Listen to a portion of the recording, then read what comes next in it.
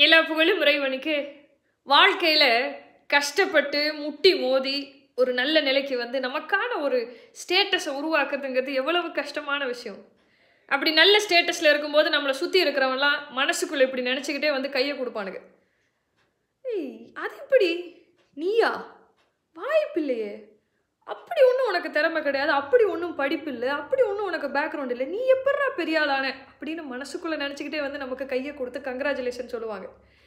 சொல்லிட்டு முதுகுக்கு பின்னாடி போய் என்ன பேசுவாங்க? இவனுக்கு வந்த வாழ்க்கையை பார்த்தியா? அது எப்படி இவன்லாம் பெரிய ஆளாகலாம்?